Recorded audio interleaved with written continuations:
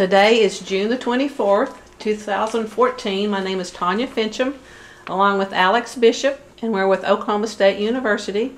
And today we're in Tulsa, Oklahoma to speak with Henry Miller. And this is part of our Oklahoma 100 Year Life project, so thank you for having us today. Well, I'm glad to have you. Let's start with having you tell us when and where you were born. Well, I was born in Charleston, West Virginia, April the 22nd, 1914. And I only lived there two weeks.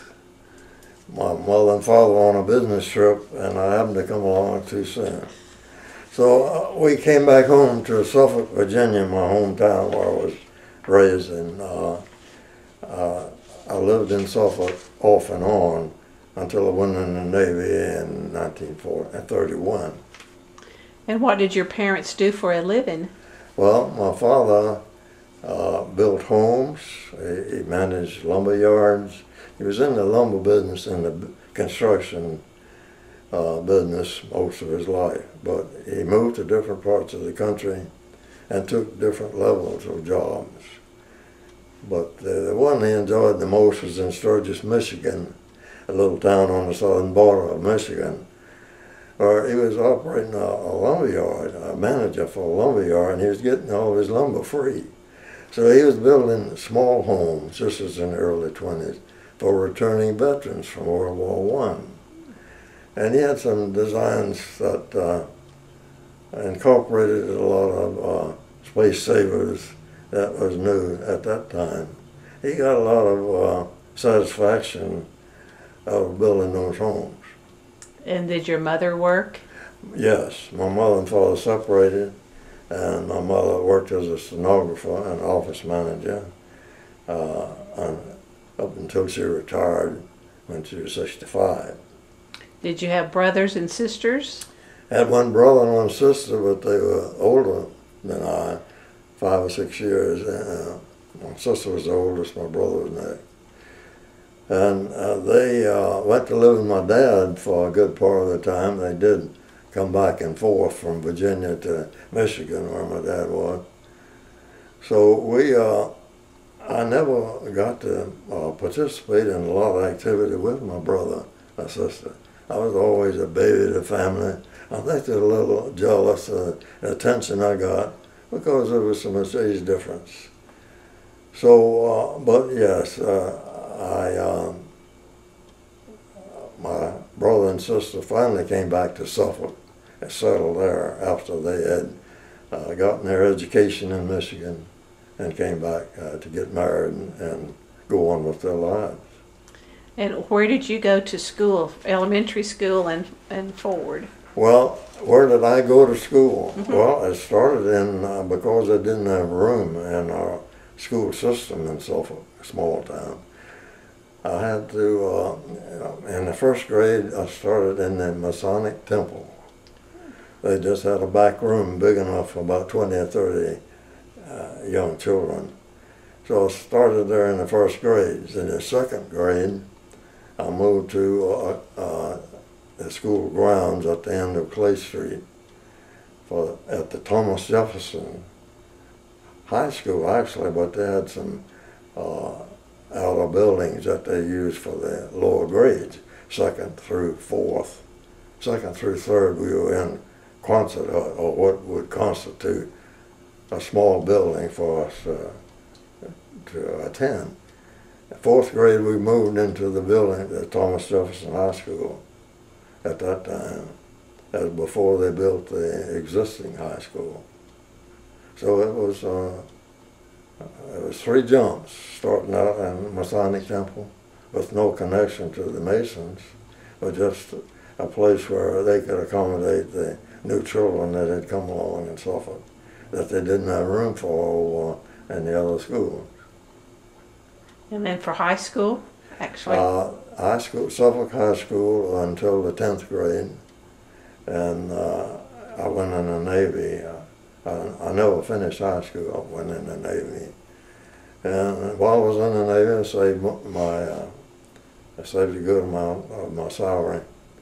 And I attended Spartan School here in Tulsa. I came to Spartan School and in August uh, uh, 1938 and took flight course and aviation uh, mechanics course for both aircraft and engines.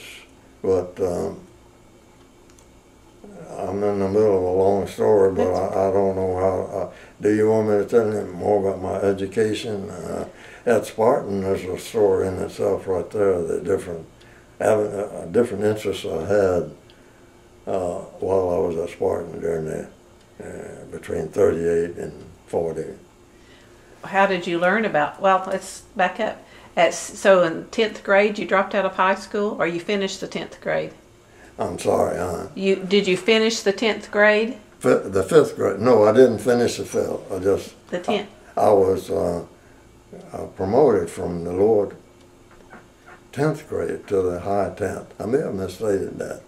Tenth grade was the middle tenth grade was uh, my highest uh.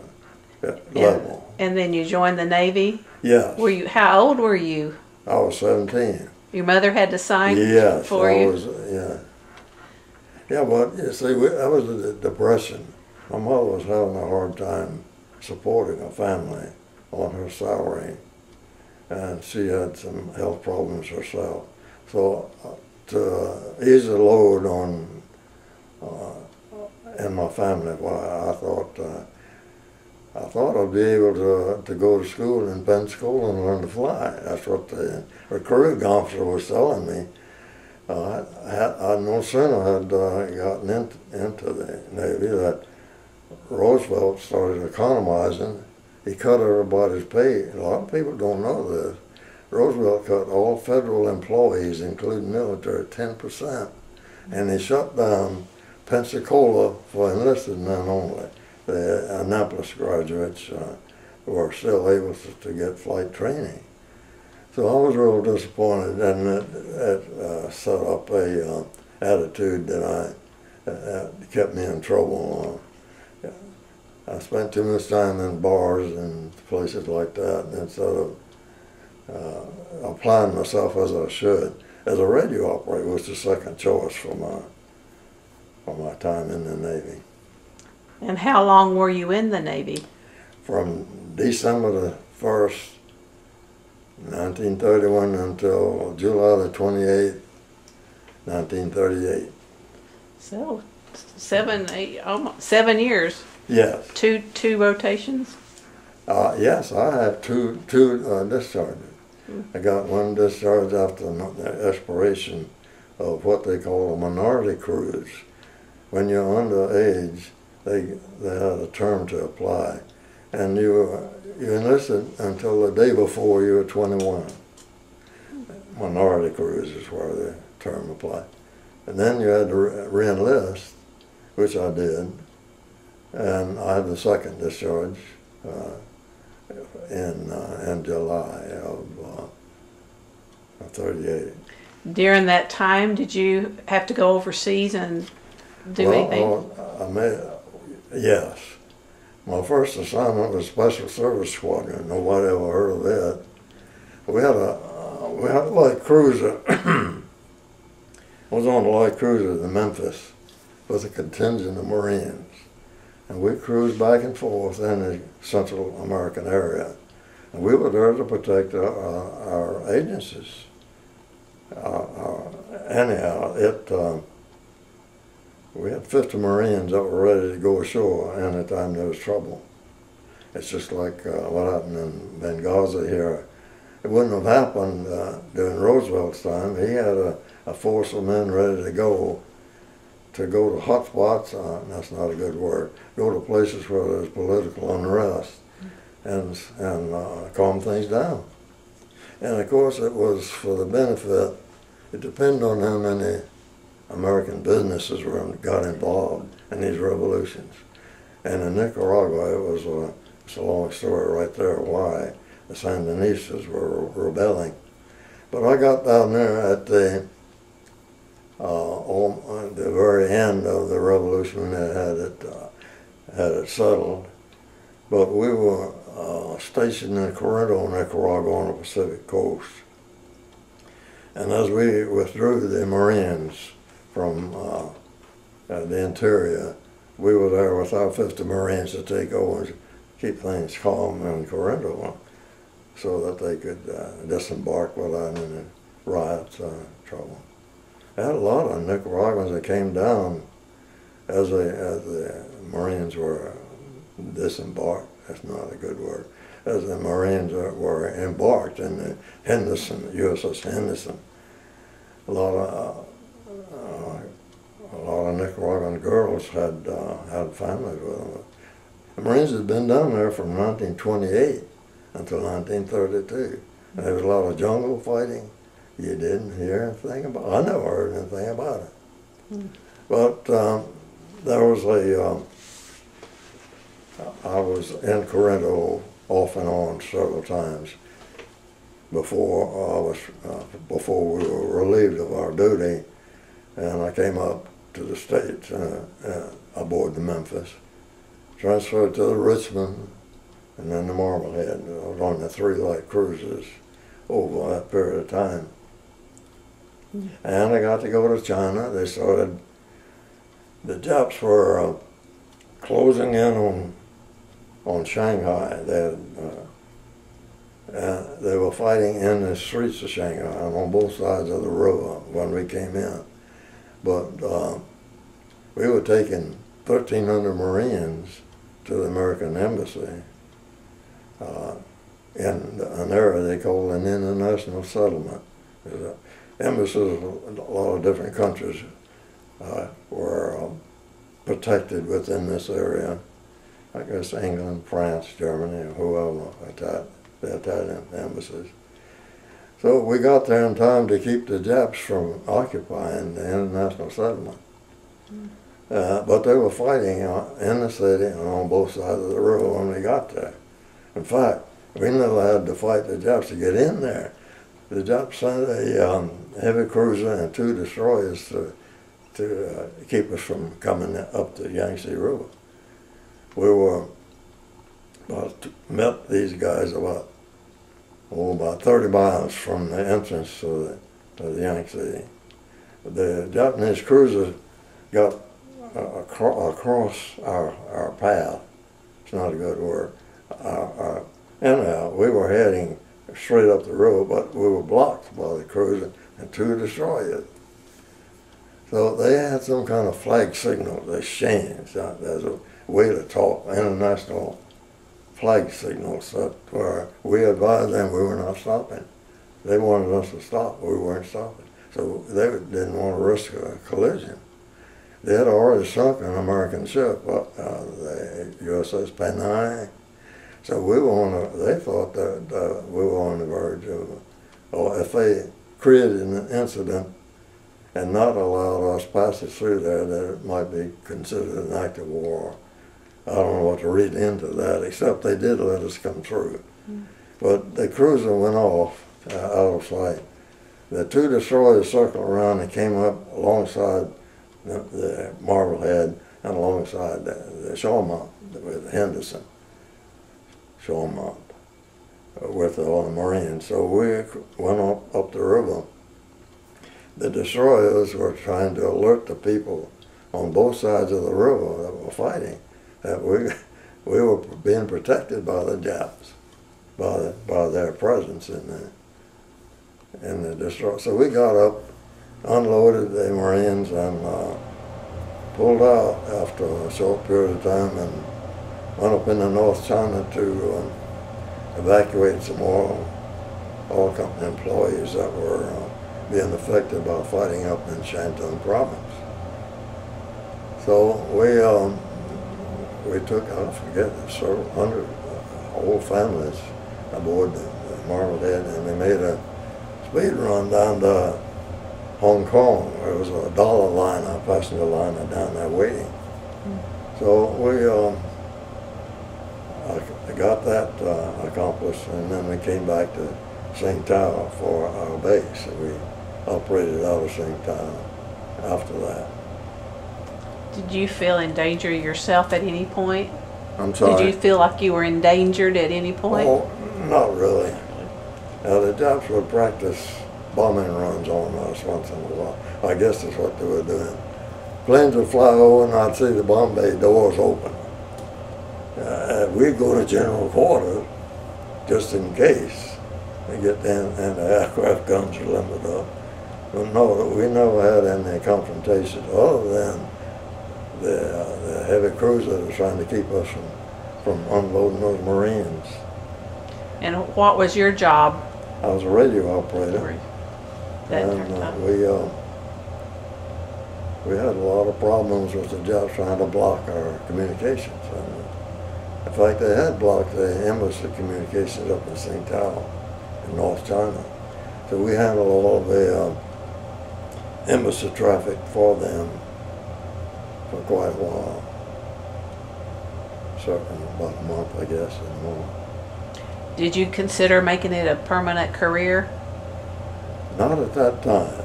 Not at that time. Uh, Well, that's a long, that's a story in itself. why? but then, no, at that time, why? I was glad to be out there. I, I volunteered for the Asiatic Fleet when, when I was assigned to, to Panama, to the Special Service Squadron in, in Balboa. So I was uh, glad to get up to China and feel like I had a small part in uh, relieving the situation there.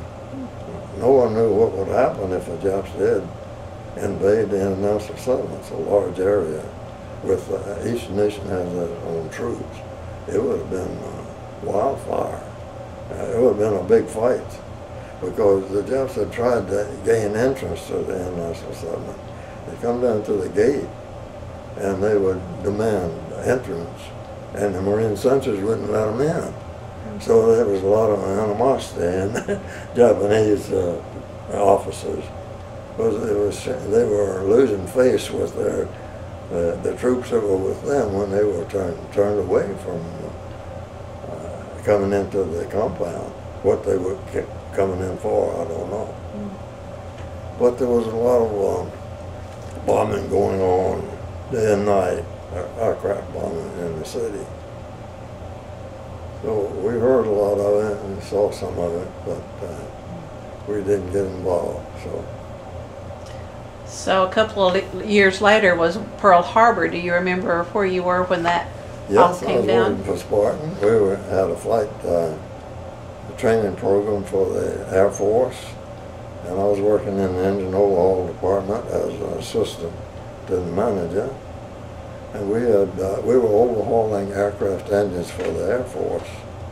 It was a, a the Ranger engines that they used in the in the uh, PT-19 airplanes that they were using in the flight program. So I was uh, contributing in, in some degree, but I wanted to, I would like to have gotten back in. But I have an honorable discharge, but the Navy wouldn't allow me to reenlist because of uh, another long story with some of my uh, problems I have with alcohol. Nothing illegal, immoral. It was just uh, I was uh, I was sent to Naval Hospital in Washington D.C. Uh, just a small hospital no uh, retention, nothing like that, to dry out.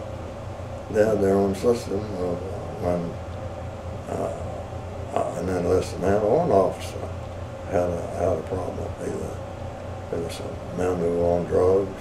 It was a mixture, believe it or not, of officers and enlisted men in one hospital with no difference. So they uh, eased me out with an honorable discharge and said, well, uh, when I tried to reenlist, it, uh, I, it didn't look like I'd be a very satisfactory enlist, enlisted man. And they were right, uh, based on the trouble I was in uh, with car wrecks. And I was an alcoholic, and uh, alcoholics don't get along very well, and whether it's in the military and in personal business. Well, did your time in the hospital work? Did you yeah, get? you bet. did it? It sure did. It, uh, I stayed, I stayed out of bars and I stayed away from alcohol, saved my money, I was able to come, able to pay my tuition to Spartan School and realized what I wanted to get out of the Navy to start with. I was able to learn to fly and be around aircraft. And, and it, uh, it was a wonderful uh, satisfaction to be able to, to follow that. How did you learn about Spartan? Why? Well, while I was in the hospital, there were some, one of the men had uh, gotten some literature from four or five different schools. And Spartan had the best uh, offering. They offered me a job. So I was able to pay my tuition in advance, full tuition, and work as a night watchman. Yeah, but that was uh, the best deal of all the other schools. And how long was that program? How long was Spartan's program? Mm-hmm. The uh, aircraft and engine program would have been a full year. Flight program, I bought uh, flying time on the Taylorcraft small cabin airplane. And then when I wasn't able, when my health broke down, I needed an operation in Spartan. I asked uh, the school director if he could uh, refund any of my tuition. And he said, no, I'm sorry, the, uh, the situation, the economic situation is so bad. He said, well, I'll give you flight time in the C-3. Well, I've been, I've been uh, working on the C-3s and watching the guys fly those things. And so I traded in the unused part, part of my tuition for flying time in the C-3 biplanes. Mm-hmm. So I got to, uh, I got a lot of satisfaction although I wasn't able to completely finish the course. And they gave me a job uh, as a, an assistant to the manager uh, of the engine, aircraft and engine department. I had my own office. We shared secretaries and things like that. Yeah. Well, then take us on from there. What? Where did well, you go? from Spartan, uh, I went. Uh, I got a job at Douglas Aircraft worked with him for eight years. Still in Oklahoma? Yes, at the local plant here at the airport. And then went out to Lockheed Missiles and Space Company. Now that is a jump. But that was a wonderful little town, Sunnyvale, California. The jobs they gave me were, uh, were uh, better than I had and paid more than, than I was realizing from Douglas. And I was promised uh, an administrative level job if I would stay. But this was in 64 and uh, we lost, Lockheed lost a lot of contracts. The Agena rocket, that was the main source of income, it had more than one failure.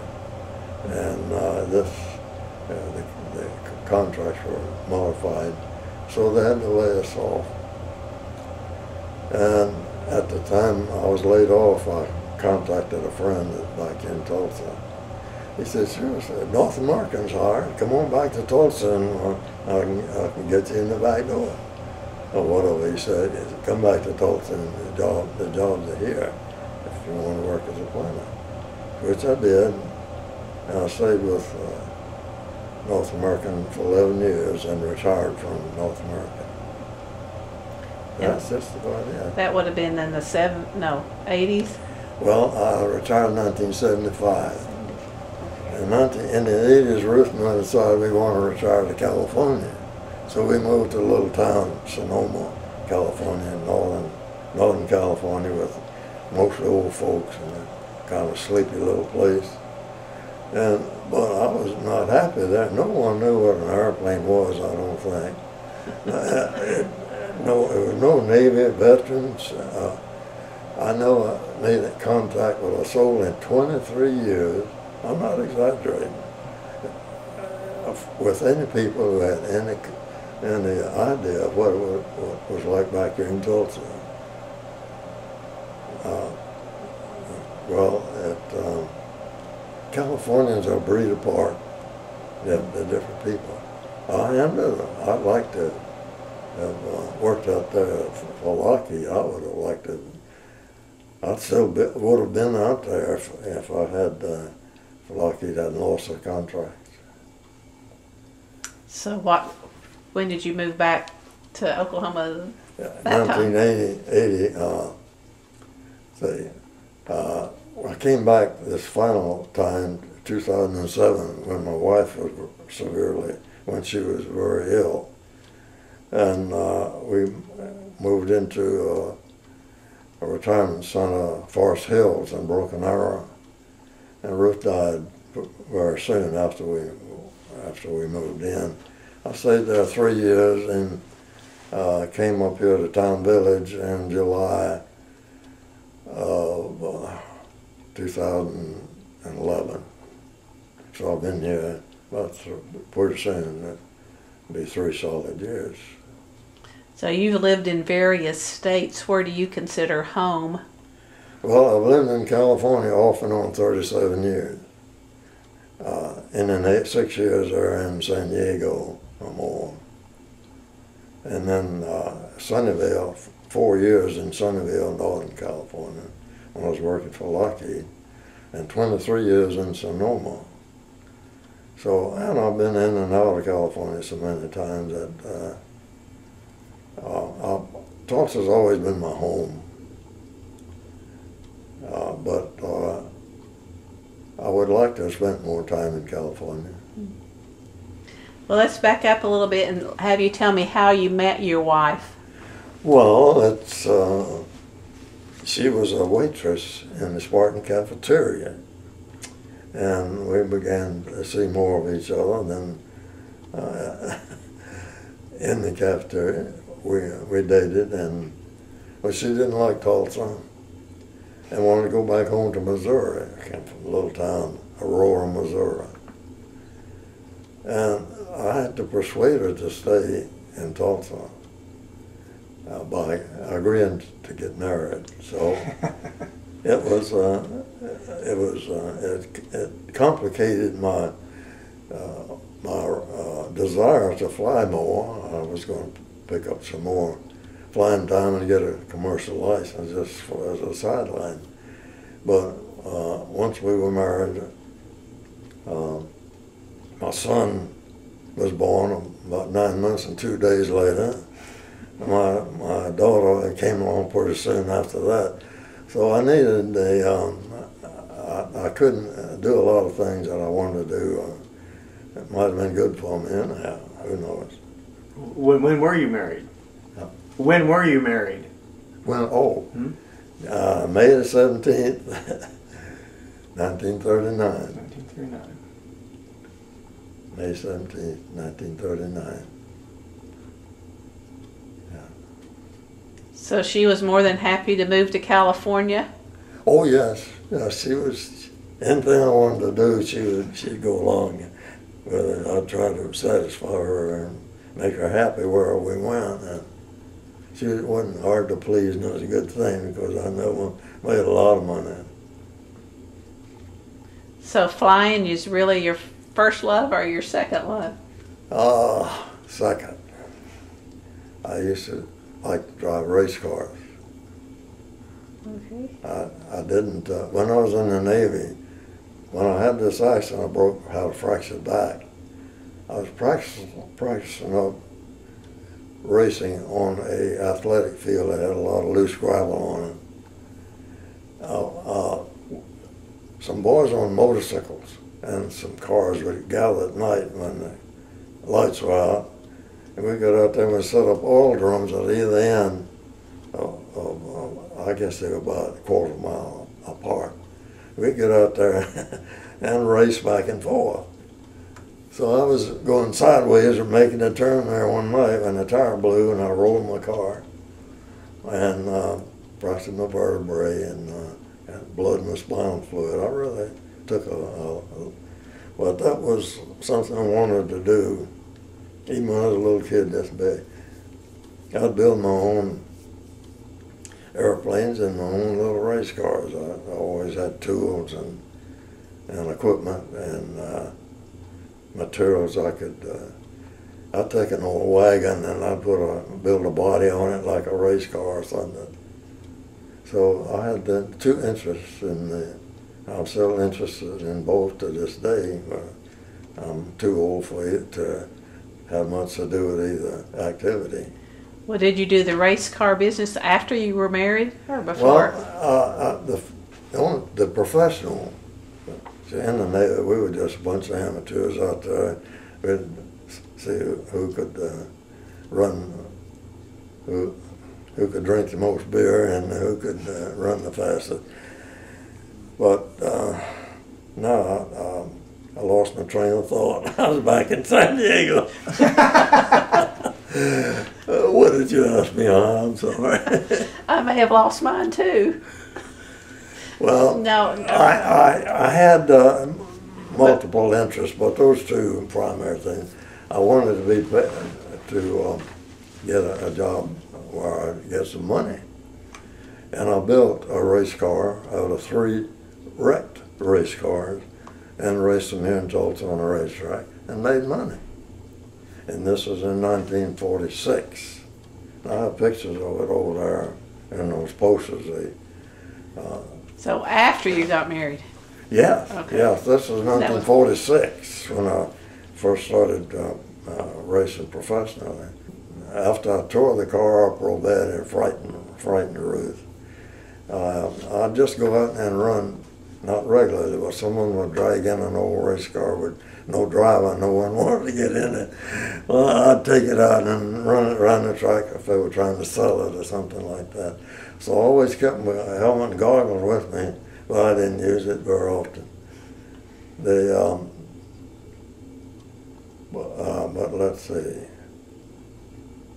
Oh, in 1955, I was out at the track one night and there's a couple in the box seats there, and I was standing, leaning on the rail behind them and watching the races, and we got to talking, and uh, the lady asked me, um, uh, I told her, I guess, I volunteered that I'd driven a race car.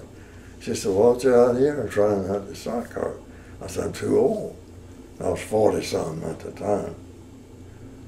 So anyhow, uh, she said, you're not too old. Husband was taking it all in when she was giving me advice. she wanted to see me. So I, I uh, went down in the pits and I contacted the board and had an old junk and no one else wanted to drive. So I started driving uh, stock cars and I do have pictures of them over there on that poster. But it was just a, um, it was a, it was a, a sport with me. I didn't, I didn't, wasn't about to quit my jobs and try to make a living doing that. I, I, I just was uh, too concerned with supporting my family.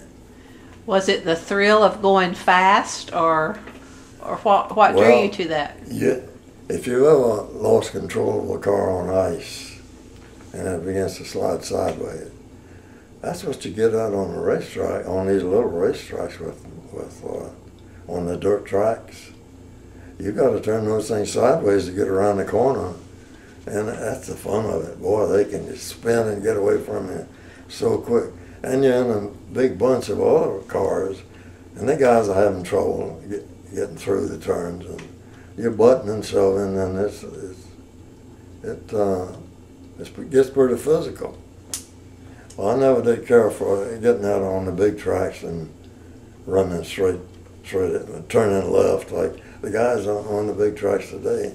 Most of the action is just following one guy following another guy and then turning left at the turn. So, but the uh, the slick tracks is what I like. I like to feel the car slide and slip, and because it that's what I thought it, it took the most skill, and to do it with no piece of junk, I, that gave me a lot of satisfaction. I had a lot of people um, who knew what I was trying to do and really uh, gave me credit. And uh, in fact, the, the top driver there wrote me a letter one time, which I won't go into, but I had real good relationship to the professional drivers who had made a living driving race cars. So um, I got a lot of, uh, enjoyment but it was strictly avocation, is that a good word? Or something to do for fun with never having any idea that I'd, I would uh, try to make a living at it. Did you own race cars?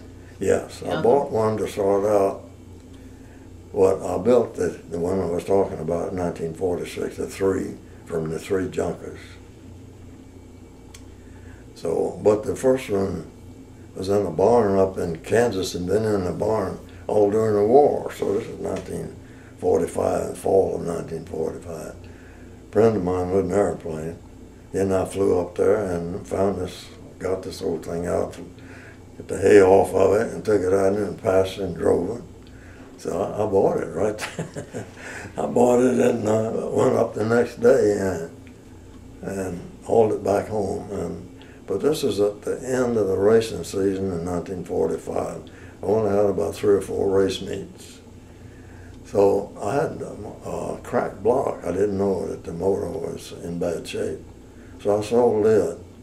And that's when I began to look for some cars to put together, some old wrecks that I could uh, put together myself. And I bought a, uh, a Southern Roebuck Army Jeep motor. They were selling uh, military um, surplus back in those days, several different types. Uh, Dodge motors and Willys, Willys motors and several other kinds I'm not familiar with. So the biggest expense I had was $102 on that motor. The total car, I only had 200 and some dollars in it. And after three nights, I had uh, had it paid for. And I've got the receipts right here. No one believes this. I've got the receipts right here in a book. I've kept the pay receipts and I've kept the records of the, of the material I bought, where I bought it. Yeah. So when it came time to teach your children how to drive, did you do it? Uh, yes. Yes, it was a different uh, time and a different uh, mode of instruction, and whatever word. we uh, we got on. I taught Ruth to drive first, and Ruth helped with the children.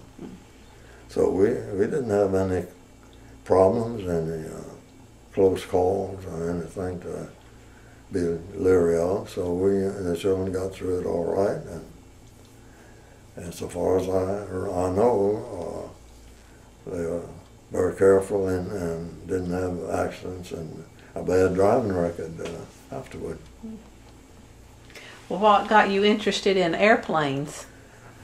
Well, I got to go clear back to Suffolk, Virginia.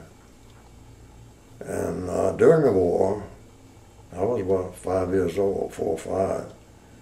There was planes that were in, uh, they were using in the Naval Air Station in Norfolk would sometimes fly over the city.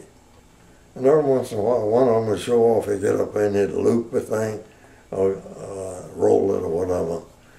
So they'd come over our little town, only 20 miles away, to to have some fun. They couldn't do that, I guess, with their superior officers watching them. So they'd come over home, uh, over Suffolk, and perform a lot of aerobatics. Then they had some uh, blimps. They had two or three blimp, powered blimps that had uh, come over, and they'd come in real low. And they'd lean, lean over, the guys would lean over the side and holler at us kids and uh, wave, and uh, that was, uh, so we had contact with, uh, uh, with military aviation when I was a real small kid. After the war, there was a lot of surplus jennies that were being bought and were hanged at a little field at Wilroy, Wilroy Virginia, about five miles from, from Suffolk. And my uncle used to take me out on a Sunday drive. We go out and we watch these guys haul passengers, barnstormers, I guess you'd call them. But they'd fly these old biplane jennies uh, the Jenny name coming from the initial JN4 or something like that that the Air Force had on them. But they were uh, slow flying old airplanes, good for instruction. So I had airplanes in in my neighborhood, uh, planes that I could uh, watch, and uh, so I began to build models. Uh, I was always building something in my garage. Uh, so I, I, I built a few strictly non-flying models, and I bought some that were capable of flight. Just wind, wind up a rubber band and it'd fly sometimes two or three minutes. And so that was my uh, introduction to aviation. Was the war, the, the airplanes from the Air Force. And do you remember the first time you went up in one? First time, oh yes, I was in uh, Guantanamo Bay, Cuba. It was 1934. The whole fleet was heading from New York City for a review by President Roosevelt. So we stopped, uh, in, we were at anchor there in uh, Guantanamo Bay. I don't know how many ships were there.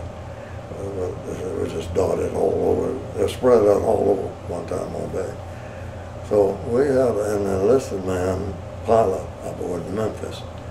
And he, one day, just out of blue, he knew I liked airplanes. He said, uh, I want to go, uh, I want to fly around the bay a little bit. I said, well, Lord, yeah. So I was able to fly with this friend of mine in the, uh, in the original Corsair. Now, the, the name Corsair was used later on uh, by the Boeing company on the fighter plane, but this was an old biplane Corsair. And we took off, it was a seaplane, we took off from the water and of course landed in the water. But, uh, pardon me, I was able to fly around, we were able to fly around the Guantanamo Bay. And uh, I'm not sure what, uh, why he was making this flight. Maybe he was assigned to check to see if any foreign vessels in the perimeter of anyone was coming in in fishing boats and getting in the middle of it. I don't know why, but I enjoyed it, and that was my first flight. Hmm. So later on, I was able to go off the, on the catapults. That was an experience in itself. You got about a 50-foot catapult in it. Today's today's carriers, you know, the guys uh, a thousand feet of, of flight deck before they have to take off. Anyhow, uh, I got uh, to have that experience as catapult and landing in the open ocean. When you come in, when you're uh, catapulted out in the ocean, the way you get back aboard ship, so we can't come back to the ship and land on the ship. So the ship makes a sliding turn, either one way or the other, depending on wind direction. And it knocks the top off the ocean wave. So you, you come in and land in the middle of uh, the wake of the ship that has just made this sliding turn for you.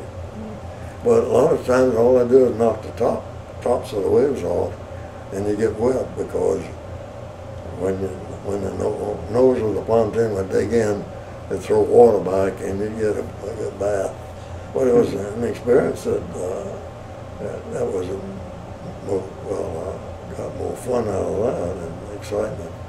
So once you land in the water, you taxi up alongside the ship, then drop a boom over with a hook, hook onto your center section, lift you up, set you back on the catapult for the next shot. So that was pretty tricky too, if it was choppy. Uh, one one radio operator lost his finger uh, holding that hook down and trying to get it in this sling that's in the center section. He got his finger in the way and the ship went up and the airplane went down and he, he lost his finger. What about the first time you yourself flew one? Oh, that's easy. That was a Spartan. And I bought this flying time on a little Taylorcraft cabin airplane. And I forget how many hours instruction I, I took, and you went, we went through all of the maneuvers, the 180s and 360s, and the dead stick landing and forced landings and engine failure. I, I guess I had about six hours instruction. I bought 10, so I was, I was soloed after about six hours and uh, got to fly solo after that for the full, for the remainder of the 10 hours. So that was, um, it was in the winter, uh, winter of, uh, winter of 38 and the spring of 39. So I didn't get to fly the C-3s until six, about six months later. So I checked out on, on them, uh, and had a lot. I built up a good amount of time. But I'd flown in the Navy. I'd flown a commercial airplane called the Fleet. Picked up a sail out on the highway one day, hitchhiking out to Chula Vista from San Diego. He said, "You want to fly today? Want to fly an airplane today?" I said, "Yeah." He said, "Well, it'll cost you ten bucks." He said, "It cost me twenty. I'll, I'll, uh, we'll, we'll go out and uh, I'll let you handle the control." But the fleet biplane was just a small plane like the Spartan. Had 145 horsepower hand, and it performed real well. But uh, we, um, we we had a lot of fun that day flying this small plane. Then there was a next door neighbor that rebuilt a plane, and I used to give them rides out to Harvey Young Airport. And this was an old Swallow airplane, it had an OX-5 World War One motor. It was an old, it was a reconstruction of an old airplane. Well, I loved the old motor because it, it turned so slow and didn't get the vibration of the noise that you would normally. So I got to fly the OX-5 Swallow a few times, and uh, so I got to fly a variety of airplanes. I flew five different airplanes at Spartan, uh, one, two different models uh, of the Corsair, the fleet, uh, and uh, so I'm dragging this story out, but uh, it, it, it uh, I was at, I went over to um, Tulsa Space Museum they had a couple of planes hanging, Spartan airplanes. I knew the stories about bad, they, had some bad features. So I was telling the guy who was escorting me through the museum, he said, wait a minute, I better go get the curator. He wanted to know what these stores were. And uh, they'd crashed. Within the first month I was at Spartan, they crashed two of them. Mm-hmm. So they had a design failure, uh, flaw. So this first, uh, uh, uh, the first guy, the student got in trouble with Julio Rodriguez, a boy from Puerto Rico. He put the thing in the dive, pulled back on the stick, and something popped. The wings folded up around it. He had to fight to get out of it.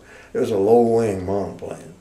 But they had, had one hanging in the ceiling. So I was telling this guy, I knew some bad things about that plane. So he went and got the curator, I'm repeating myself. And uh, he, he got interested in not only those planes, but the other planes that I'd flown. I just know that I have a lot of time, but I got to fly a lot of different airplanes that he had some interest in. And uh, so we became friends. and uh, he arranged all of this. Uh, uh, he got with Spartan and arranged this hundred year celebration for me. I'll never pay him back. I'll never repay him in any way. But I, I sure have appreciated uh, my.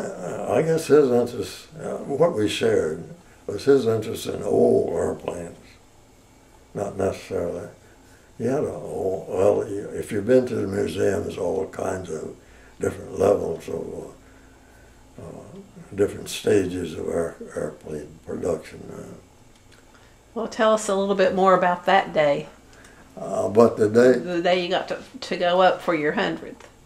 Oh, let's see.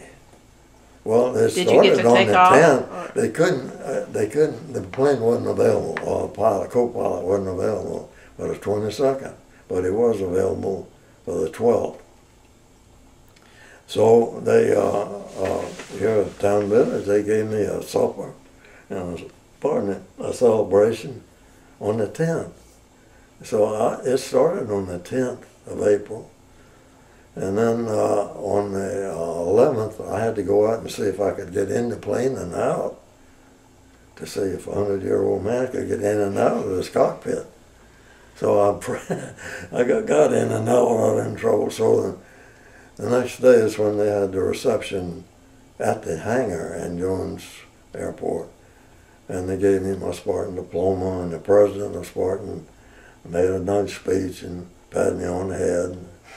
It was a, uh, but there was two or three hundred people. I never anticipated any kind of response like that or interest. But there they were, and I would, I, I, I had a permanent smile. two, three days, but I did get to fly in this old C-3, uh, which was a plane that I had uh, flown in. Not this particular one that was refurbished, but the same model, same horsepower, and so forth. But yes, that was a great experience.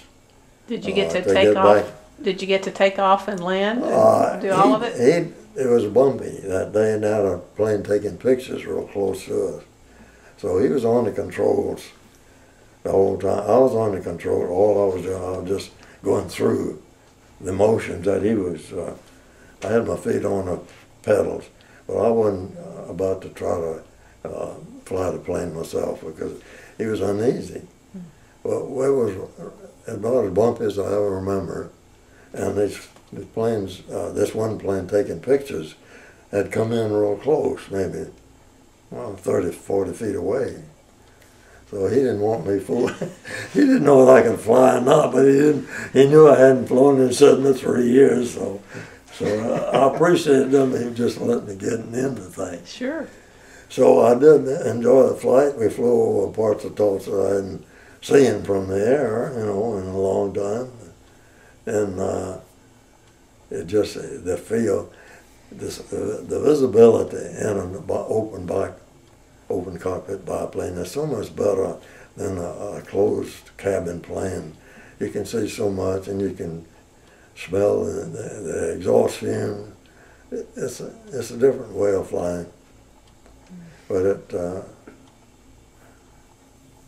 I'd, I'd do it again then but but they I was invited to come back said we'll we'll do it again sometime the the, uh, the plane was refurbished by Dennis Hunnison who was a chief maintenance man for for Spartan at uh, at uh, Jones Airport where the Spartan hangar is located so Dennis had told me uh, more than once, let me know when, when you want to take a flight and we'll, we'll do it. But it was, uh, I I sure made some friends that I, I had no idea that I, I was uh, was capable of uh, having any, of them having an interest in me. An exciting day. Oh Lord! Uh, But it's going on for thirty days. I've had in, interviews by two newspapers, three newspapers. I got calls from my hometown. You know, I had people from California calling me. Uh, uh, you're on the internet, and uh, we saw you on the internet. So it's uh, been. Uh, I couldn't have. Uh, well, I enjoyed every minute of it. When I haven't had a lot of attention in my life, why you and the older you get, uh, the more you do enjoy it, I guess. Well, at what point did you realize you were going to make it to 100? Uh, April the 21st. Of this year? Yeah. Had, had anyone else in your family lived to be 100? Uh, yes, I had an aunt that lived to be 102. She was uh, the daughter of Judith Kilby Smith, my great great grandmother, who was the only civilian casualty in the fighting in my hometown. Yeah, I, I just got a letter here to, today uh, uh, about that. But there was a, um, right now uh, I lost my train of thought there, but uh, talking about age, she was, uh, uh, sh- she married a wealthy banker in Washington D.C. And uh, she was, she lived in a Wardman Park Hotel, I guess one time most prestige, what's the word I'm fishing for? Prestigious. Uh, she lived in luxury and had, had good attention, so she she lived over hundred.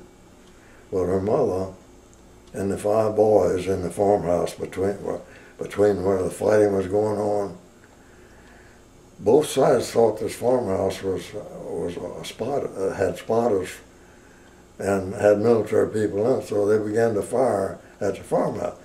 So the whole family makes a run for the woods. The mother, my great great grandmother, uh, was hit and bled to death in the woods that night.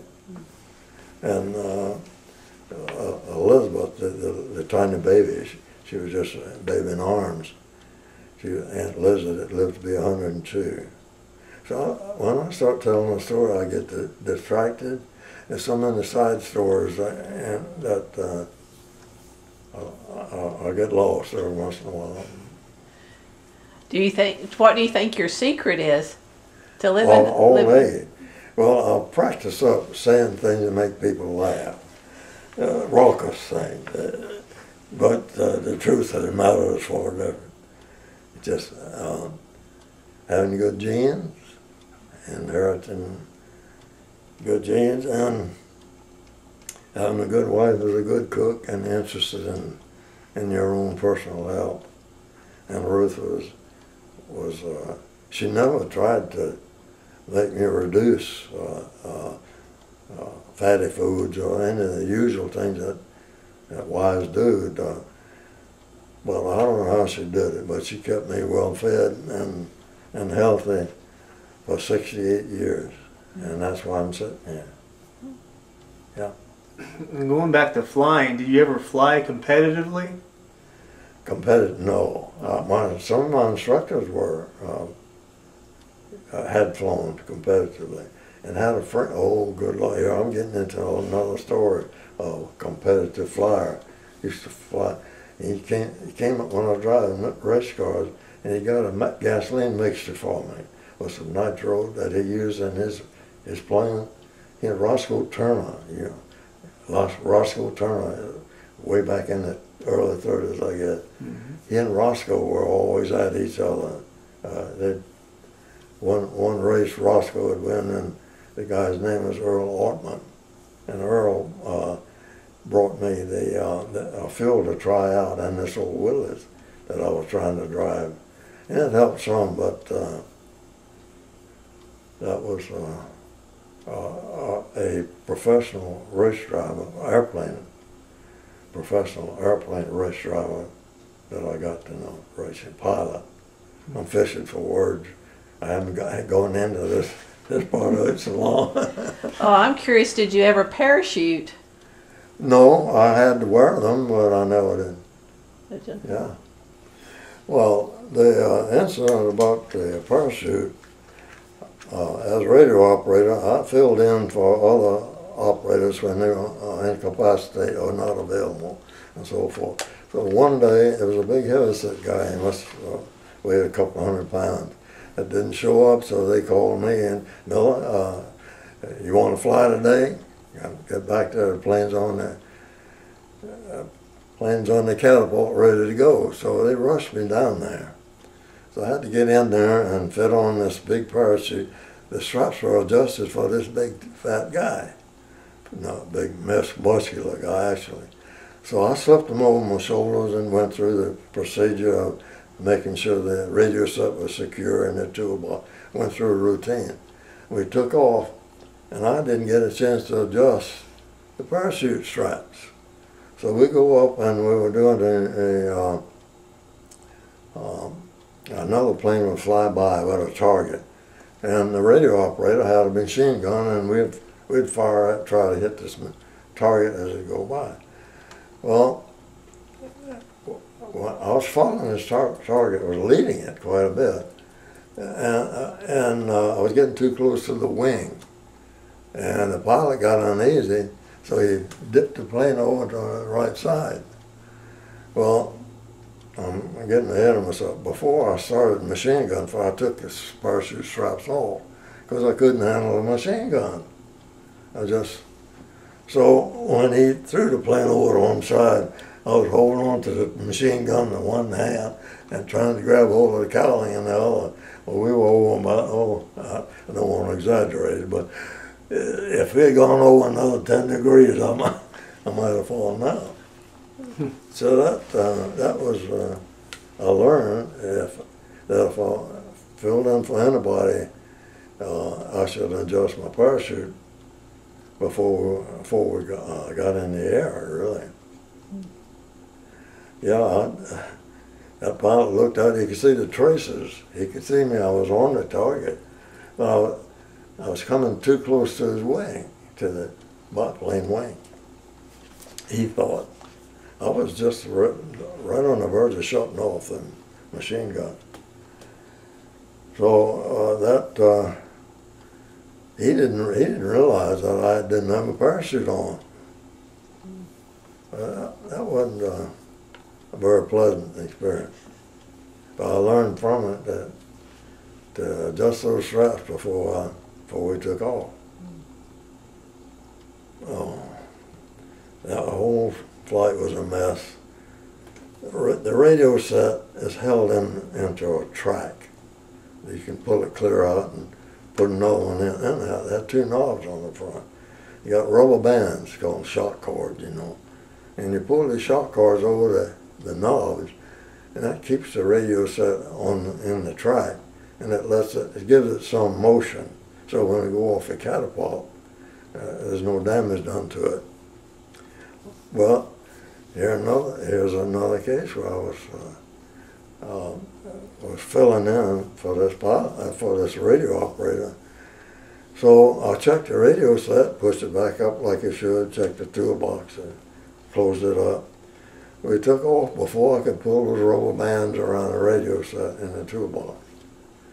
I managed to hold a radio when we took off at the catapult. I managed to hold a radio set by the toolbox, spilled all those tools out of my lap, and they were kicking around in the floor. So I had two unfortunate uh, experiences uh, by not being prepared when we went off the catapult.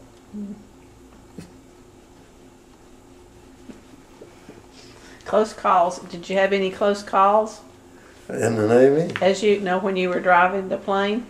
When you were pi- piloting the plane? Spartan? Yeah. Well, I think I did. Uh, I lost an engine. Take it back. Lost all the oil from an engine on one of the C3s. I was uh, had a co-pilot. We went out to the practice field east of the internet uh, of Tulsa Municipal. And for some reason or other, he didn't want to come back. Didn't want to fly back. He said, "You you fly the plane back." So I, I brought it back, taxied it up to the hangar, and Bill Madden, mechanic, walked out. he said, "What in the hell is going on?" There's oil just all over the belly of the plane. So he took the cowling uh, where he could look at the end. And the nose cone had had about maybe 15 or 20 studs. Some of those studs had broken. The main bearing had uh, uh, given out inside, and the crankshaft was was rotating the propeller and the propeller shaft in this nose cone, and it popped the studs. So when when the studs popped, well, the, the surface was parted and all the oil, all the oil ran out. So that was wasn't an accident, but uh, uh, I could if I'd been flying very much longer, I'd have lost an engine and most probably wouldn't have had any problem, any problem getting it down. Good flying old airplanes fly themselves. Did you ever take Ruth up? Uh, yes, but not in the C3s. Yes, and a, uh, it was a, uh, a pilot who had an old Beechcraft airplane at Tulsa Municipal Airport, and he was carrying passengers. And Ruth and I and the children came out one time. And we were just standing watching what he was doing, and uh, he saw me standing there and said, no, uh, uh, go take off, uh, take a flight, check my motor here. He made something off and said, come on, uh, we'll, we'll charge anything. I'm just to see if, uh, if the plane is flying right. So I did take Ruth and the children up for a flight in an old Beechcraft over the city of and back. Uh, but uh, I used to once in a while, uh, Ruth, when Ruth was pregnant, she'd get out and find some, some place out in the open where she could walk. She liked to walk. And a couple of mornings, I'd come out and I'd look for her. I'd fly around over the residential areas trying to find just a lot of, around the airport and one minute homes and a lot of empty highways, uh, roads, streets. So, but uh, I got uh, someone called in and complained about an airplane flying too low over at home. so I didn't, uh, I didn't uh, try to find Ruth on her daily walks after that, but she did uh, walk a lot on the, around the airport uh, residential areas, I guess you'd say. Well, the airport's really changed a lot since. Oh, You were doing it's all those gone. things. I went out there. I've been out there several times. Every time I go, there's more gone. All the old hangars are gone, and the school buildings. uh, They're all, they've all been destroyed and cleared off. My home I bought about three blocks away from the airport. Because it was it was gone. It was torn down years ago. So I've got a lot of good memories when I go out there, but they, uh, which is nothing to remind me very much of what it really looked like. Let's switch gears and have you tell us about this Yeah. gold thing. Well, uh,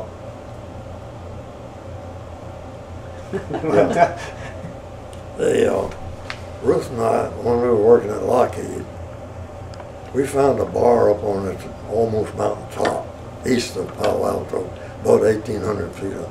And had about six or seven miles of a winding road that followed Stevens Creek. And the creek is only uh, five or six feet wide. There's quite a lot of water. So when we go up, we go up to this bar and have a few drinks on weekends and enjoy the scenery. You can't imagine the variety of scenery on Stevens Creek. You'd have to go there. But at different levels, uh, you'd see strange vegetation like uh, like you see down in the tropics. Just hanging moss. The places as you go up, as you go up to the top of the mountain, you're passing through some of the prettiest variety of scenery that I can remember. So one day, Ruth and I were coming back, and I was looking over uh, to the water. I saw some bed springs. I said, who in the hell would throw a bed spring here, halfway, well, two thirds of the way up this mountaintop, in a beautiful stream of water? So I said, Ruth, I'm going to get that thing out of there. So I stopped my car and I went down. I got this bed springs and I picked them up. I threw them. I was mad. I threw it as far as I could. Well, a little black head hopped up. I thought it was a snake. It didn't come clear up out of the water right at first. But then as the current began to move it, after the weight of the springs was off of it, it began to uh, float down down the stream. The rest of it began to. So what in the hell is that? But I thought it was a snake when I saw that. So I picked it up and I fished it out of the water and took it home. And uh, it had been burned. It had some burned areas. So I cleaned it up as best I could and painted it. Well, I've had a lot of good luck since then. I've always wanted to think uh, that I was just re- being repaid for rescuing it, my dingfod, like we called it, out of the water. Couldn't think of any other name as a dingfod. And have no idea what it was? Well, I, I, someone I was talking to later uh, told me that it was part of a man, uh, manzanilla root, a manzanilla tree root. I've never seen a manzanilla tree. I don't know what it looks like. But down below the surface of the ground, this is what's going on. But you, But you it has such you an unusual content, you know, it's, uh, the surfaces are different all the way around. So it, uh, I've got a lot of pleasure out of it. Hey, using it in a You've, you've had it for quite a while. Yes, this The is, se- this is the secret to longevity. this is nineteen sixty-four. Bingo. The good I've, luck piece. I've often thought that, uh, Alex. Often thought it. Well, when history is written, what do you want it to say about you? about me. I don't think I could summarize summarize, summarize it, uh, because so much of it uh, was good, so much of it was bad. I would like to have been an officer in the Navy, and I could have. I was, I was told by my division officer that if I behaved myself, I'd be sent to school in Washington, D.C., where they train radio gunners, not, they use, gunners as a slang term, uh, warrant officers, radio warrant officers. And then you can go on up into the higher ranks. Once you get the gold braid, you know, the warrant officers had a uniform just like the Annapolis men and are given opportunities for advancement that uh, they wouldn't have had if they just uh, hadn't taken the special schooling. It's, uh, I imagine, I don't know for sure, I think it was kind of like a finishing college to prepare these men for an officer's life. I want to make them as close to officers and gentlemen, I suppose, as they, besides they learned, they were taught all the latest electronics devices that were being brought in long about that time. But at that time, I was assigned to Admiral Courtney's personal staff. Every admiral has a certain number of people within the, his, his uh, I guess the word staff would apply.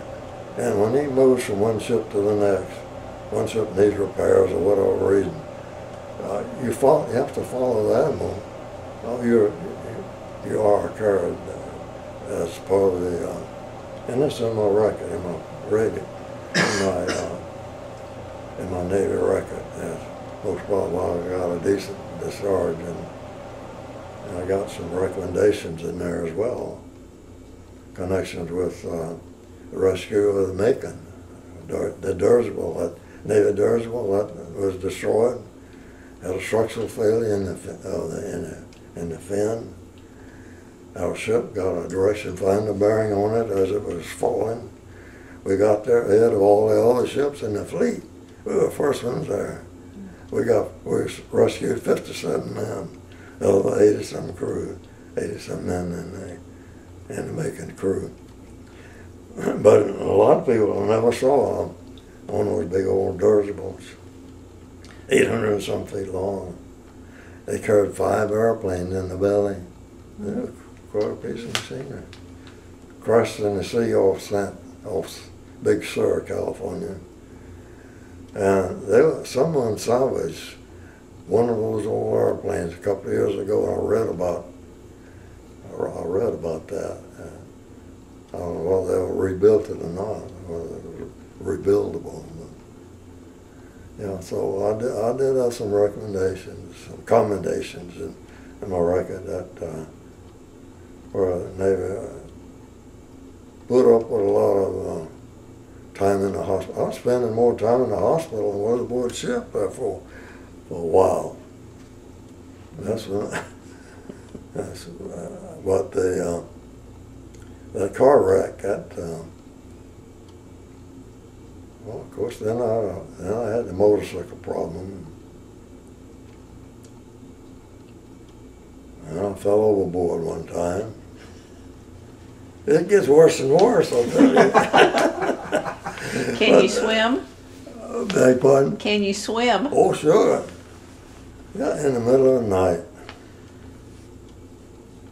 You don't want me to tell that story, do you? it's nothing. Uh, uh, It'd be very scary. what, huh? Very scary. Well, it should have been, but I hadn't been drinking, and I never was afraid of anything. And I was, uh, uh, we were at anchor, so I was floating from the place where I fell overboard back to where the motor launches were, were moored. And I was going to pull myself up on one of the hawsers that were, that, uh, the launches were, were moored to. There was one guy back on the stern of the ship, one o'clock in the morning, smoking a cigarette.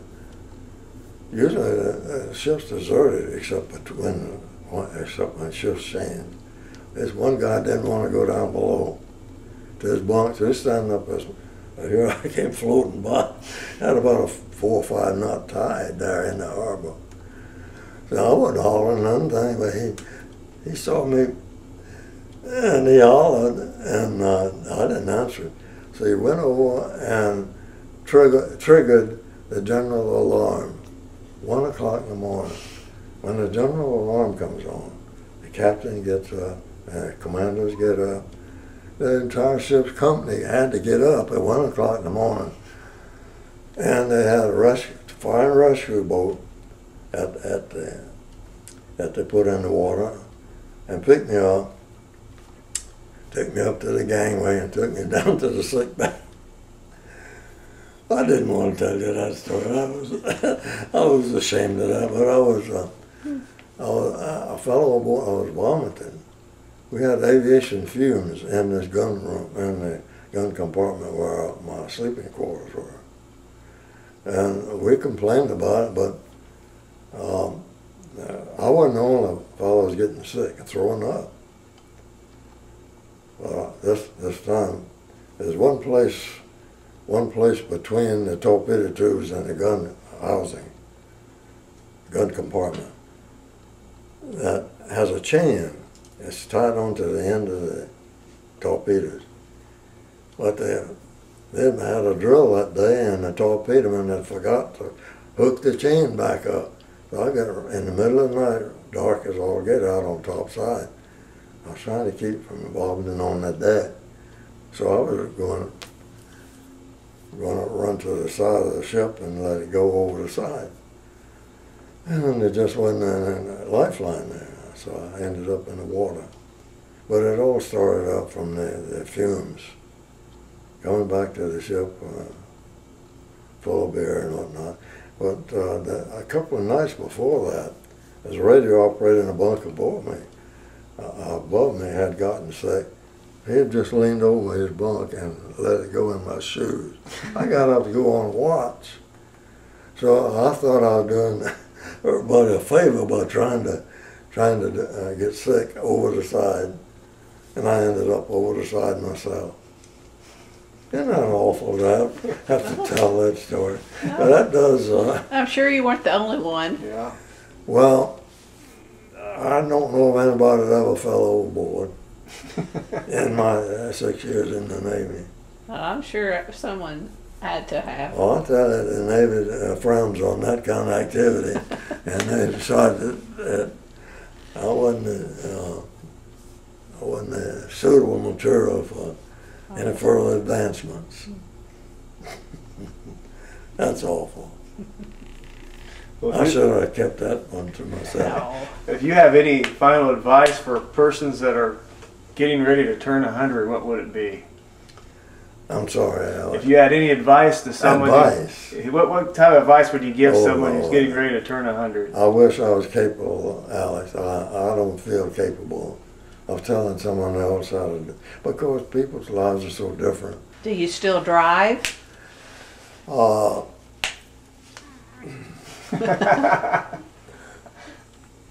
yes, but not for any distance. Uh, like Walgreens, I go down and get my medicine, don't have to go a block. I do on occasion, maybe once or a couple of weeks, or I go to the grocery store. I wait until 10 o'clock in the morning when, when traffic is, is as light as it's going to get. And I'm, I, I do, uh, I get my own groceries, but I'm, I'm making arrangements with my, uh, with my, my son's ex-wife, who took me to the doctor today, so that I won't be endangering anybody. So uh, the answer is yes, but uh, I know I shouldn't, and I'm going to make. I'm in process of making other arrangements finding other ways to handle it. Well, do you have a philosophy that you live by or have lived by? No, I don't think I've had enough education to really. Uh, well, I don't believe that I'm qualified or have enough good experiences to pass them on, pass them on to someone who could benefit by them. Is there anything left on your bucket list you want to do? Gosh, that's, I'd like to go back to California for a short visit. I'd like to go, go to San Diego and then go up to Santa Monica. I was there for a month. I didn't mention it. Anyhow. And then uh, I'd like to go to San Francisco and then to Sonoma. I don't, I'd like to see the- those three, but I won't, because I'm realistic. I can always uh, look forward and uh, and think about think how enjoyable it would be. But then you begin you lose sight of the things.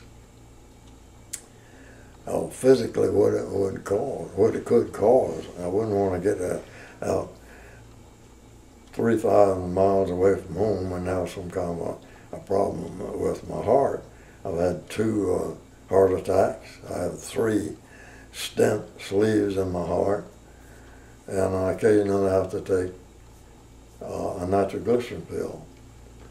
So uh, I, I, I don't know whether I'm answering your question. No, yes, I'd love, I'd love to take a trip back to California for about a week, no more than a week or ten days. But uh, I don't want to cause any problems for my family.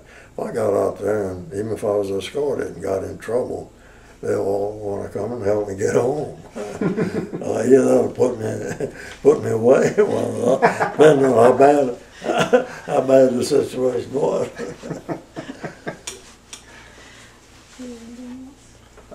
Is there anything else you want to add before we close out? yes, I'd like to thank you folks for being interested in what I've done, and I hope I uh, I haven't exaggerated anything. And uh, I, guess uh, I don't know how many other people get this attention, but I know they would all appreciate it, like I have, and it'd be a pleasant memory for a long time. I hope.